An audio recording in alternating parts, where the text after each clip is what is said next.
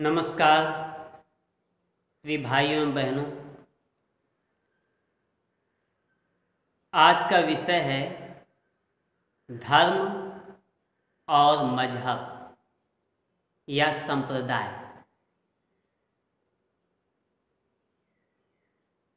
धर्म क्या है और मज़हब क्या है, इस पर हम चर्चा करेंगे। क्योंकि धर्म और संप्रदाय या मज़हब दोनों एक ही चीज़ नहीं है। दोनों अलग अलग हैं। धर्म एक ही होता है और संप्रदाय या मज़हब बहुत सारे होते हैं। तो ये क्या है? मज़हब किसे कहते हैं, संप्रदाय किसे कहते हैं और धर्म किसे कहते हैं, इस पर हम चर्चा करेंगे। अरबी में धर्म को ईमान और संप्रदाय को मज़हब कहते हैं। मज़हब या संप्रदाय का अर्थ होता है कि एक तरह की पूजा पद्धति, एक तरह के नियम कानून को मानकर चलना, एक तरह के ग्रंथों का अनुसरण करना और एक तरह का ओढ़ावा ये सब संप्रदाय या मज़हब होते हैं, जिसे मतवाद भी कहते हैं। ये मनुष्य द्वारा बनाए गए हैं। ये बहुत सारे हैं। और ये मनुष्य को जोड़ते नहीं हैं, मनुष्य को तोड़ते हैं।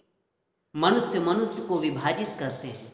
अभी तक देखा जाए तो संप्रदाय के नाम पर जितनी इस पृथ्वी में हिंसा हुई है, अभी तक किसी भी क्षेत्र में, किसी के भी नाम पर उतनी हिंसा नहीं हुई है, जितनी मज़हब और संप्रदाय के नाम पर हुई है। जैसे हिंदू मतवाद है, हिंदू मज़हब या हिंदू संप्रदाय, जो भी कहें। मुस्लिम समाज है, हिंदू, मुस्लिम, क्रिश्चियन, सिख, यहूदी, ऐसे बहुत सारे मतवाद इस पृथ्वी में हैं।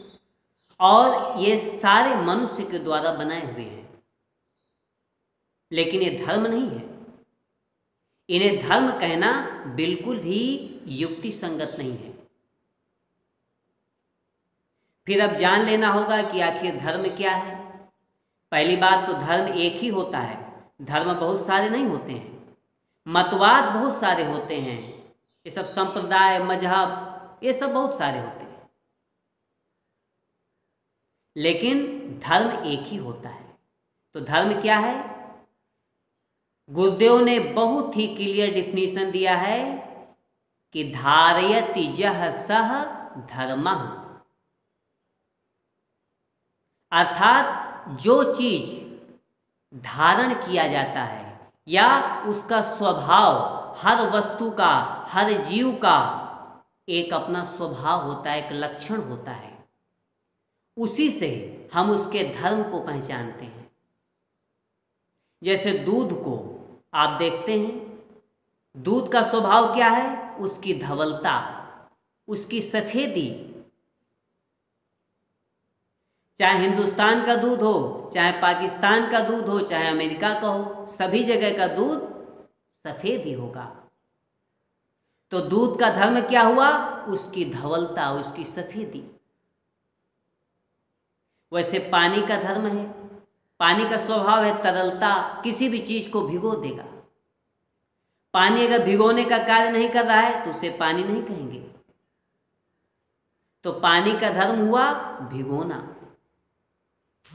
वैसे ही आग का धर्म है। आग का धर्म होता है किसी भी चीज़ को जला देगा, उसमें दहन शक्ति होती है।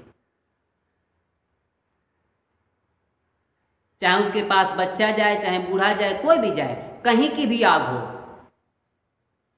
सब जगह की आग एक ही होती है उसका एक ही स्वभाव है, किसी भी चीज़ को जला देना।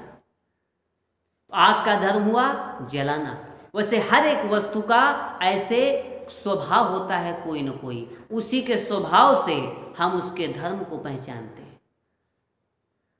वैसे ही मनुष्य का एक स्वभाव है। वह क्या है? सुख पाना।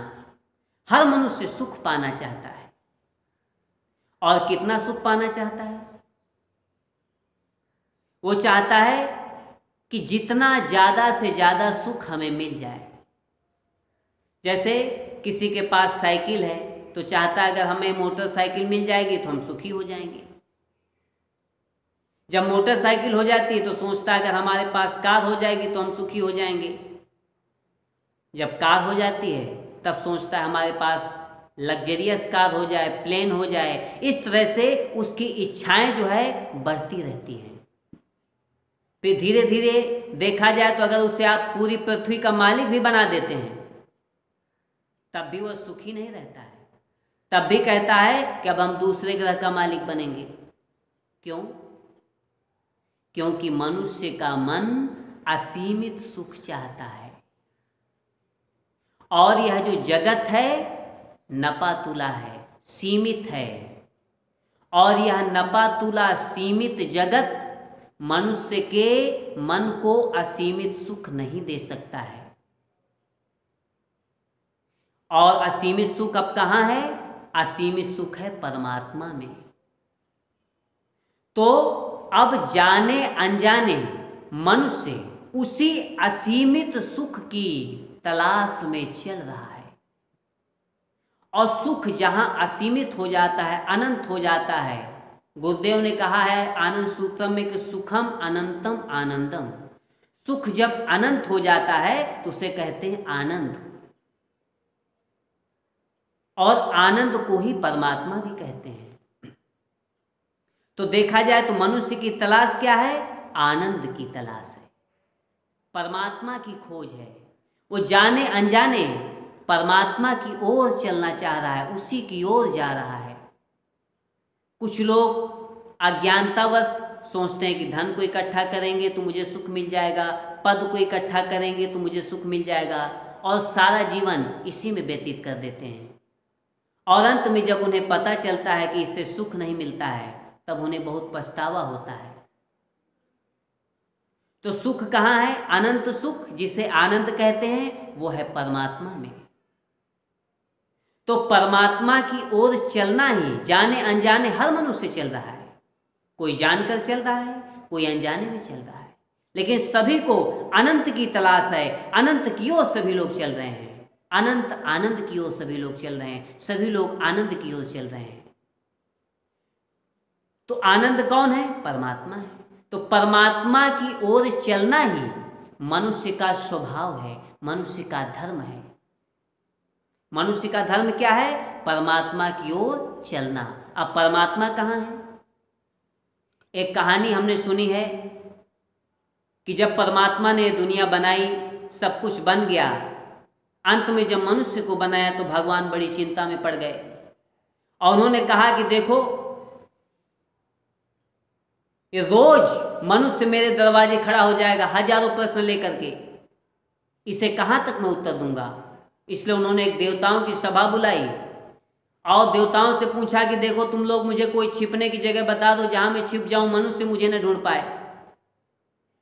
क्यों रोज हमारे दरवाजे आ जाएगा हज़ारों प्रश्न लेकर? कहाँ से कहाँ तक इसे उत्तर दूँगा?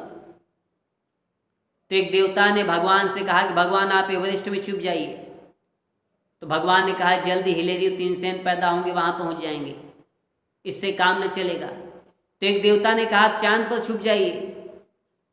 तो भगवान ने कहा, जल्दी रूस और अमेरिका के अंतरिक्ष यात्री वहाँ पहुँच जाएँगे। मैं खोज लिया जाऊँगा। इसलिए कोई ऐसी जगह बताओ, जहाँ मैं छुप जाऊँ, मनुष्य मुझे कभी ढूंढ ही ना पाए।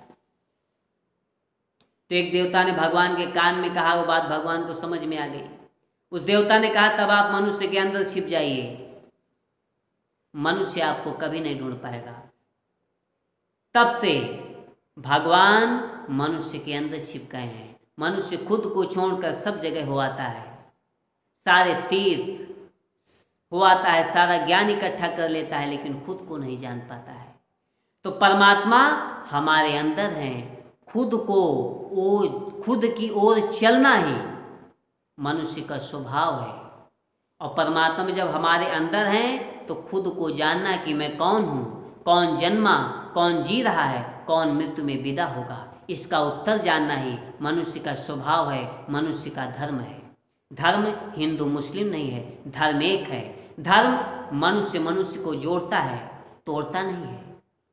क्योंकि ये अनंत की खोज है, अनंत की ओर चलना है। इसलिए मनुष्य नहीं, मनुष्य, पशु, पक्षी, पेड़, पौधे, ये जोड़ अनंत का है। कितने भी लोग आए, उस ओर चलते जाएँगे। यहाँ कोई द्वेष नहीं है, कोई झगड़ा नहीं है, कोई मतभेद नहीं है। इसलिए धर्म कहता है कि खुद को जानो कि मैं कौन हूँ। तो धर्म क्या हुआ? परमात्मा की ओर चलना ही मनुष्य का धर्म है और धर्म एक ही है। अब परमात्मा की ओर कैसे चलेंगे? उसका तरीका है कि मेडिटेशन मेडिटेशन एक है प्रयास। मेडिटेशन है मेंटल एक्सरसाइज उस मेंटल एक्सरसाइज के द्वारा हम डेली परमात्मा का चिंतन करते हैं। हमारा मन बहिर्मुखी है। हम उसे अंतर्मुखी बनाने का प्रयास करते हैं। बार बार मन बाहर भागता है, हम उसे अंतर, अंदर लाने का प्रयास करते हैं प्रत्याहार के द्वारा।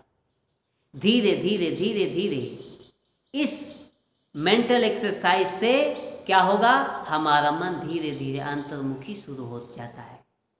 जब अंतर्मुखी हो जाता है, तब हमें आनंद आने लगता है और हमारी गति परमात्मा की ओर हो जाती है। आज के लिए इतना ही। नमस्कार।